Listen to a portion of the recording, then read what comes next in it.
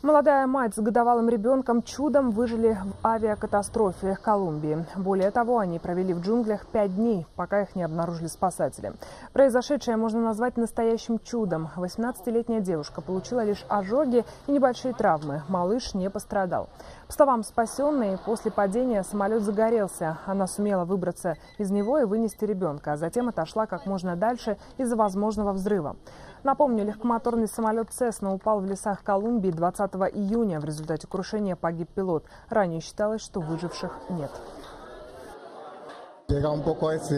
Сейчас ее состояние стабильное, хорошее, она в полном сознании, и все, что надо, вылечить ее ожоги. Но мы уверены, что она быстро поправится, а у ребенка наблюдается только небольшое обезвоживание.